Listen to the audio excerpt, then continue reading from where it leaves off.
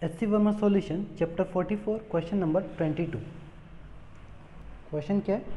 The electric current in X-ray tube from the target to the filament operating at 40 kilo volt is 10 milli ampere okay तो यहाँ पे x-ray tube क्या होता है? ये अपना फिलामेंट है, जो क्या करता है? इलेक्ट्रॉन प्रोड्यूस करता है। और ये मान लो इलेक्ट्रॉन प्रोड्यूस हो गया तो इस इलेक्ट्रॉन को चलाने के लिए हम यहाँ क्या करेंगे? पोटेंशियल डिफरेंस अप्लाई करेंगे।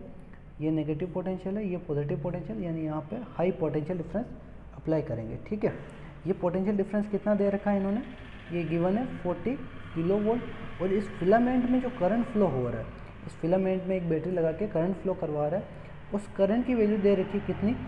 10 मिली एम्पियर ओके अब क्या बोला, इससे बहुत सारे इलेक्ट्रॉन निकल रहे हैं, ये इलेक्ट्रॉन यहाँ पर टारगेट है, इस टारगेट पर हिट हो रहे हैं। क्वेश्चन देखो एक बार वापस assume that the average 1% of the total kinetic energy of electron hitting the target are converted into x-ray. तो यहाँ से जितनी भी काइनेटिक एनर्जी है, उसका 1% किसमें काम आ रहा है? एक्सरे फॉर्मेशन में काम आ रहा है। तो जो एक्सरे बन रहा है, वो सिर्फ़ एक परसेंट से ही बन रहा है। एक percent energy of kinetic energy of electron okay next क्या है? What is the total power emitted by the X-ray तो इस एक परसेंट जो एनर्जी से एक्सरे बन रहा है, उसका टोटल पावर क्या है? वो पूछा। सेकंड क्वेश्चन क्या है? Second question how much heat is produce in the target every second तो इसके अंदर हीट कितना प्रोड्यूस हो रहा है? क्योंकि देखो, एक परसेंट एक्सरे फॉर्मेशन में काम आ रहा है तो 99 परसेंट किसमें काम यूज़ हो रहा होगा? 99 परसेंट हीट जनरेट कर रहा होगा। तो हीट कितना होगा? वो फाइंड करना है। तो सबसे पहले तो एक काम करते हैं, यहाँ से इलेक्ट्रॉन निकल रहे हैं। तो यहाँ से कितने इलेक्ट्रॉन निकल रहे हैं वो देखते हैं। तो देखो करंट गिवन है और चार्ज गिवन है। करंट का फॉर्मूला क्या होता है? I equal to I equal to Q by T होता है। और हमें ये सब कुछ पूछा है पर सेकेंड तो देखो I equal to Q by T होता है। तो T one second one second put put करना है तो आई इजिकल टू क्या गया? क्यू हो गया राइट क्यू को मैं और क्या लिख सकता हूँ?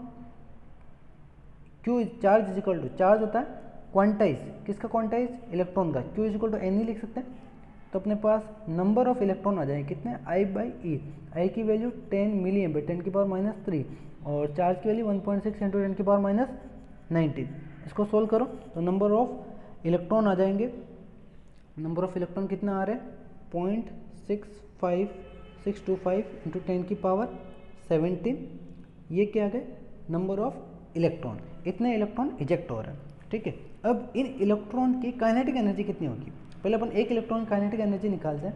देखो, यहाँ पे ये इलेक्ट्रॉन यहाँ इससे निकल तो गया, इसको चलना है और टारगेट को हिट करना है, ठीक है? तो टारगेट को हिट करने के लिए इसके पास स्पीड आनी चाहिए। स्पीड कौन देगा? इसको यहाँ से यहाँ कौन लेके आएगा?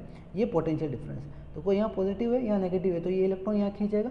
अब इस इस इलेक्ट्रॉन के पास कितनी एनर्जी इस इलेक्ट्रॉन की एनर्जी देखता हूँ तो एनर्जी ऑफ़ चार्ज होता है Q into V charge into potential difference यहाँ पर चार्ज कितना है? चार्ज ई पोटेंशियल डिफरेंस कितना है?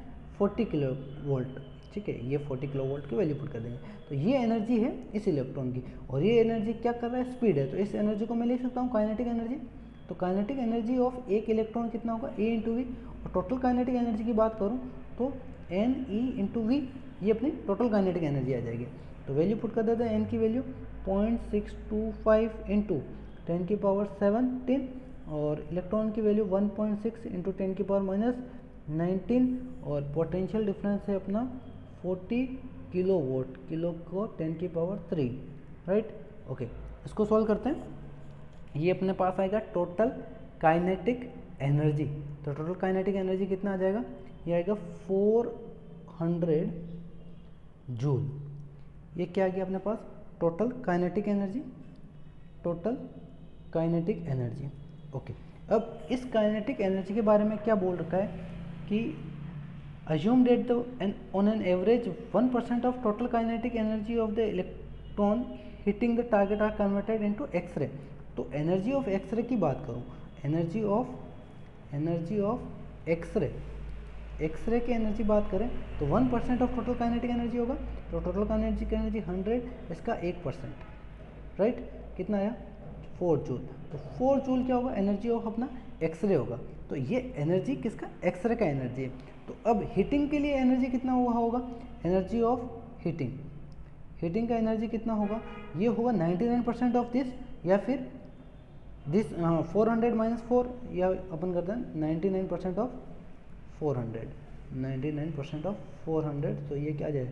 99 नाइन इंटू फोर जो होगा 396 जूल 396 जूल क्या है? ये इसका हीट एनर्जी है. ये क्लियर है?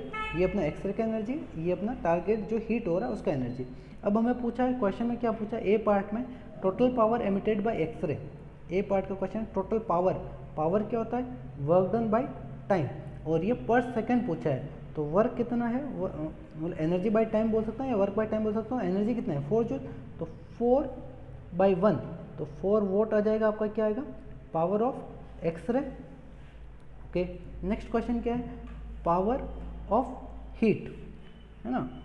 नेक्स्ट क्वेश्चन क्या है? How much heat is produce in the target every second वो तो अपन निकाल ही चुके हैं ना। How much heat is produce ये अपना बी पार्ट का आंसर है। ठीक है? और ए पार्ट का आंसर फोर वोट अगर आपको किसी भी क्वेश्चन का वीडियो सोल्यूशन चाहिए तो चैनल सब्सक्राइब कीजिए, फिर जो भी क्वेश्चन हो कमेंट बॉक्स में क्वेश्चन नंबर और चैप्टर नंबर कमेंट कीजिए।